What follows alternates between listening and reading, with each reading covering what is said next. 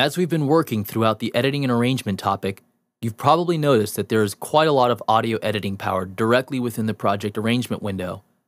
This design aspect of Nuendo really allows you to maintain focus on your project without getting lost in so many windows and sub-editors. However, there will often be situations for which you will need more in-depth editing capabilities for your audio material.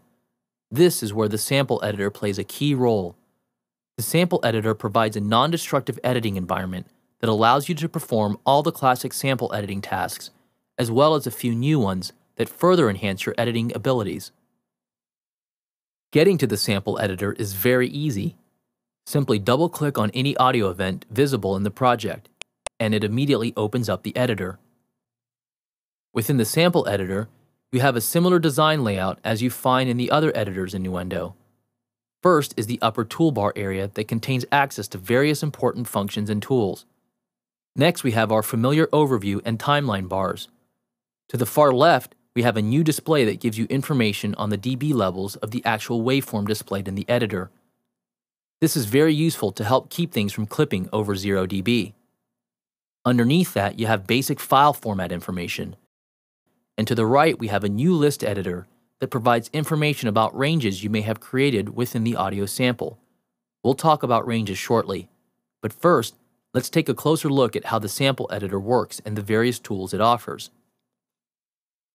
If you've ever used any two-track sample editing software, or any of the numerous hardware sampler instruments on the market, then you're probably already familiar with many of the tools available to you here. By using the range selection tool, you can highlight any specific area of the sample file, then right-click or control-click and choose a process menu category. Here you have access to all the editing commands that can be applied to the range that you have currently selected. These are all the same functions you have access to when editing audio events. You also have access to plugin processing if you want to apply specific effects to the range. Other basic functions like setting the start point and adjusting the event start endpoints are provided by graphic handles that you can adjust as needed. Adjusting the events points is the same as adjusting them from the arrangement page. One of the features unique to the sample editors is the regions list. This allows you to create specific ranges that can be used to replace the content of an audio event. If you remember in the cycle and multi-lane recording movie tutorial, Nuendo creates regions for every cycle that it completes. Creating them manually achieves a similar goal in that you can create a list of different regions and choose them from the region list when you right-click on an audio event. To create regions, you simply highlight an area with the Range tool and click the Add Region button to the right. Now you have an entry for this region. If you create more, they will continue to show up on the list.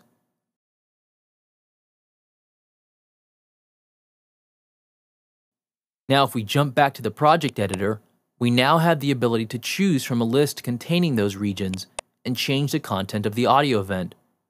This is very useful if, for example, you have a one minute long drum take and you only want to use a four bar segment of it.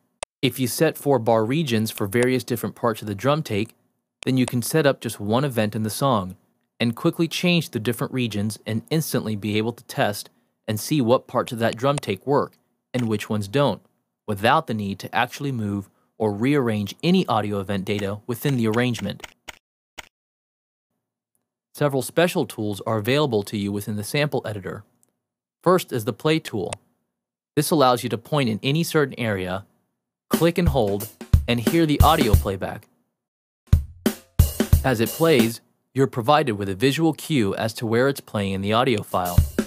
The advantage to this over using the normal play button is that it allows you to quickly scan a very long audio file, looking for specific points or cues if needed.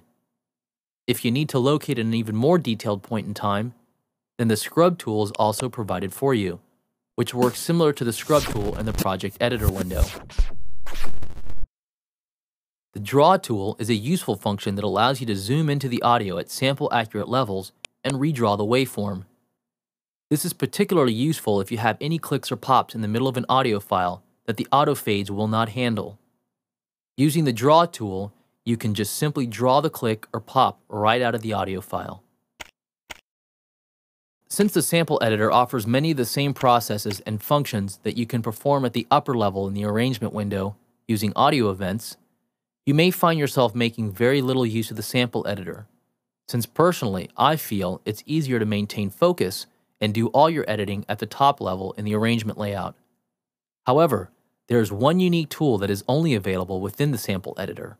It is called hit points. Hit points are essentially markers that are inserted at the beginning of a strong attack transient in the audio sample. An example of a strong attack transient would be a percussive or drum sound. Nuendo will analyze the audio file and automatically insert hit points at every transient it finds. These markers can then be treated as if they were individual sounds that you can work with separately. They can also be converted into the audio event, so that you automatically slice an audio event based on the hit points created. If you haven't already guessed it, this is an immensely powerful tool for drum loop editing. It gives you the ability to regain individual control over each drum sound and element within the loop.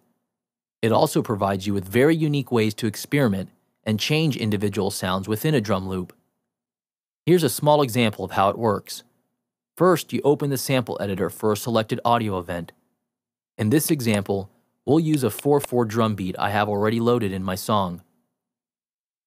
Once the sample editor is open, click on the Hit Point Edit button and a dialog window will appear. In this window, you have several options for fine-tuning the analyze process. The first option, Use Level Scan, forces Nuendo to first normalize the file and then perform the hit point detection. This can help give more accurate results but does not affect the actual audio file. So don't worry about adding a normalize process to the actual audio sample. The adjust loop parameters allows Nuendo to try and calculate the tempo of the loop and adjust the cycle range markers accordingly. The general rule is to first set the number of bars you want, set the quantization ratio that you think the loop is using, and then set a general rough guess of the tempo range of the loop.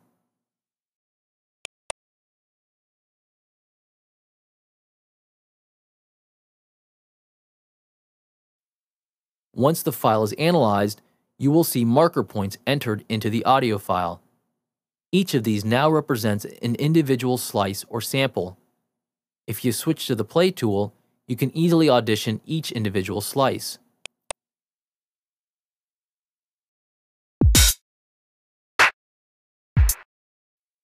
If you don't like the way a particular slice sounds, then you can grab it and move it to a different location.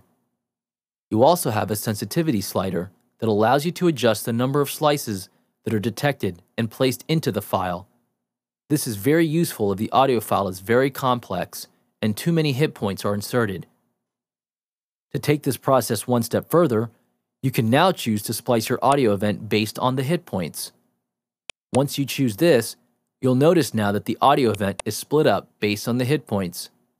Now we can easily rearrange or replace any of the individual drum samples within the audio event. Since the drum sounds are now individual events, we can even go as far as to requantize or resequence the entire drum groove. As you can see, this is a cool, powerful feature, and its use is limited only by your imagination and creativity.